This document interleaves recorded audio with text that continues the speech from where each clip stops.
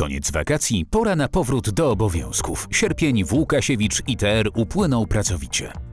Tym razem nasza kamera zawitała w mieście portowym Szczecin, żeby pokazać Państwu produkty zaimplementowane w liniach do produkcji rur wielowarstwowych firmy Twitop. W pierwszym tygodniu sierpnia wdrożyliśmy do przemysłu kolejne urządzenie z serii Sonic Rotor, które służy do ultradźwiękowego zgrzewania obrotowego. Rozwiązanie to zostało uruchomione w firmie Tweetop ze Szczecina u naszego długoletniego i czołowego klienta. Sukces ten jest efektem intensywnej współpracy polegającej na inwestycjach w badania i rozwój nowych technologii zgrzewania ultradźwiękowego w ramach projektów regionalnych i europejskich. Jestem inżynierem procesu w firmie Tweetub zajmującej się produkcją rur wielowarstwowych. Łukasiewicz ITR współpracuje z nami od wielu lat. Dostarcza do nas produkty związane z zgrzewaniem ultradźwiękowym.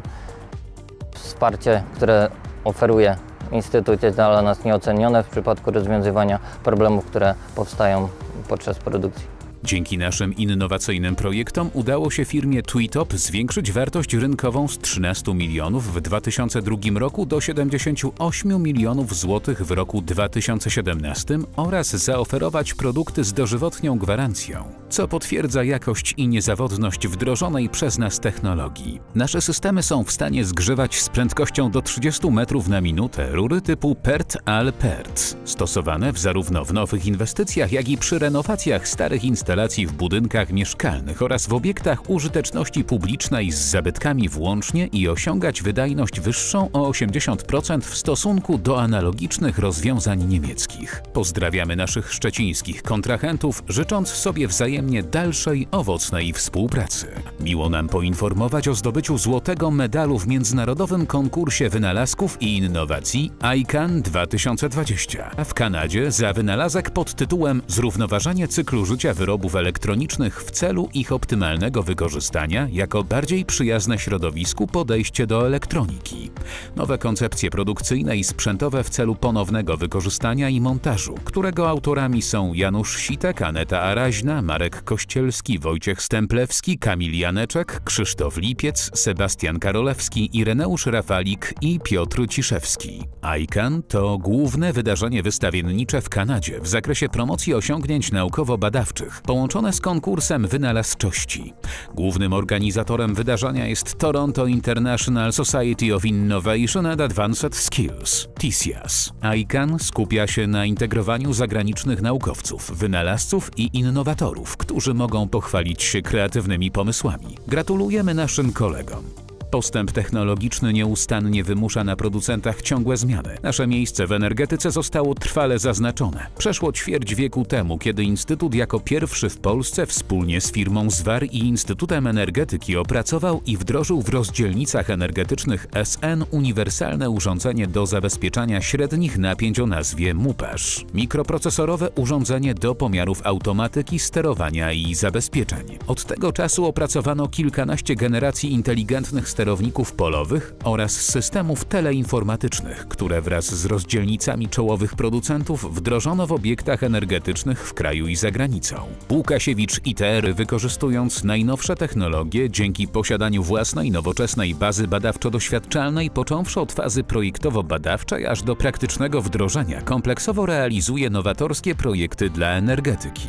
Dzięki temu nasze urządzenia są odpowiedzią na bieżące zapotrzebowanie przemysłu. W związku z tym rozwijamy nie tylko know-how i technologię, ale także dbamy o nowoczesny design i funkcjonalność urządzeń. Tym samym przedstawiamy najnowszą linię sterowników polowych, która została opracowana w zgodności z wytycznymi Łukasiewicza. Usługą miesiąca został druk 3D. Jest to technologia, która w ostatnich latach nieprzerwanie zyskuje na popularności. Wydruk 3D i modelowanie 3D dają ogromne możliwości, z których korzystają przedsiębiorcy oraz osoby indywidualne. Wychodząc naprzeciw wszystkim oczekiwaniom, oferujemy wysokiej jakości wydruk 3D. Druk 3D sprawił, że powstało wiele prototypów, wynalazków i części zamiennych, które wykonywane inną techniką byłyby niezwykle drogie. Poszerzający horyzonty i przekraczający bariery, druk 3D postrzegany jest jako najlepsza, najszybsza i tania produkcja niskoseryjna. Wydruk 3D ma wiele zastosowań, także w codziennym życiu. Dlatego dużo mówi się na temat jego funkcjonalności. To sprawia, że nie tylko firmy, ale również klienci indywidualni decydują się na druk 3D. Jednak sztuka druku 3D zaczyna się oczywiście od projektu. Zatem jeśli chcesz, abyśmy przenieśli Twój każdy pomysł i projekt Twojej wyobraźni do rzeczywistości, jesteśmy do dyspozycji. Serdecznie zapraszamy. Dział administracji, krwiobieg, firmy zapewniające sprawne funkcjonowanie całokształtu infrastruktury, z której na co dzień korzystają pracownicy, stanowi niezwykle istotną funkcję w strukturze każdej organizacji.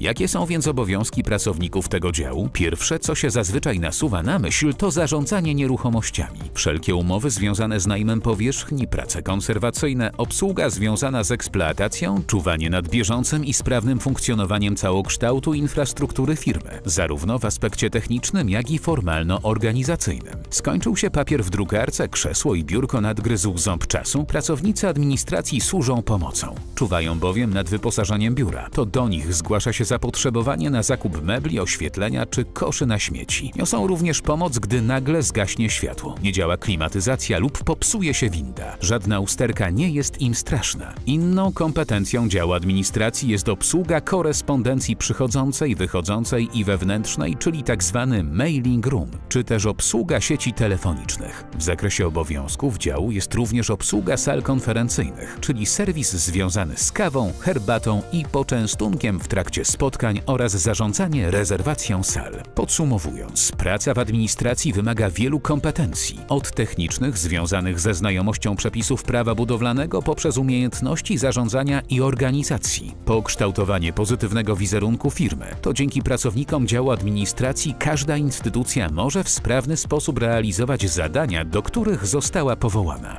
Z tego miejsca pozdrawiamy i dziękujemy działowi administracji Łukasiewicz ITR za Wasze codzienne wsparcie.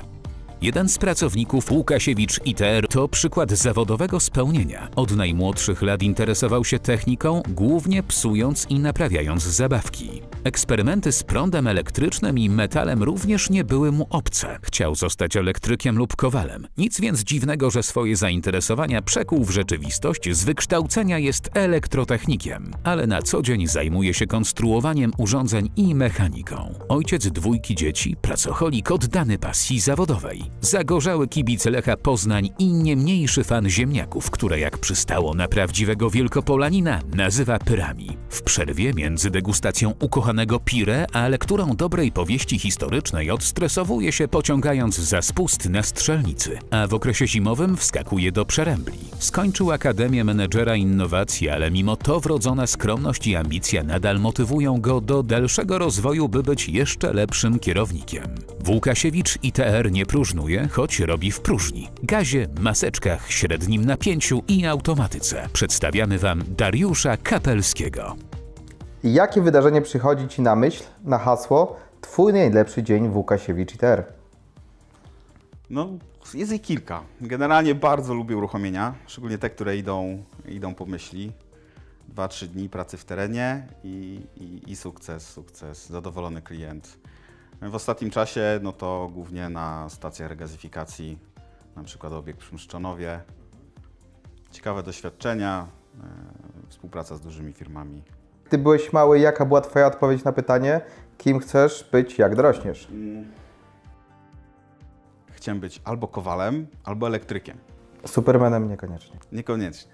Od samego początku albo metal, albo prąd elektryczny. No i tak się potem potoczyło, że jedno i drugie po trochu. Jaka czynność najbardziej Cię relaksuje? Ostatnio mm, mm, e, dostałem kartę na strzelnicę. Mm, super. No i tak leżał, leżał w szufladzie. Mówię, no dobra, zaraz się przeterminuje ten. No i od tamtego czasu Postrzelam sobie. dwa razy, dwa razy w miesiącu mm, odstresowuję. To jest, to jest coś fajnego. Niby, niby prosta czynność, nic, nic ten, a, a potrafi, potrafi e, rozładować Emocje, emocje. i stres Tak, po tak, całym dniu. tak. E, Jakiej piosenki słuchasz przez lata i nigdy Ci się nie znudziła? Generalnie jestem fanem e, muzyki filmowej.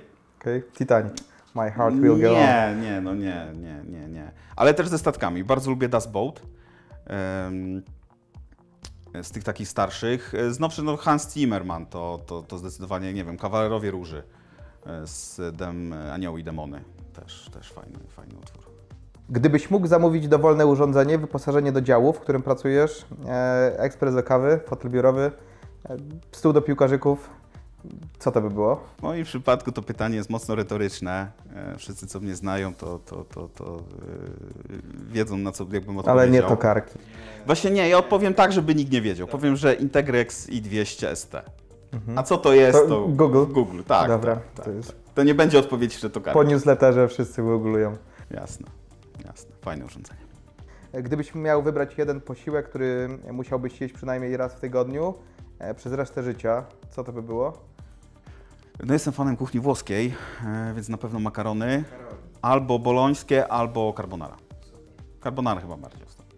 Gdybyś został kryogenicznie zamrożony i obudziłbyś się 100 lat później, jakie byłoby Twoje pierwsze pytanie po przebudzeniu?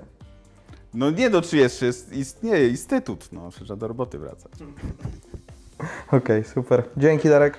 Do zobaczenia.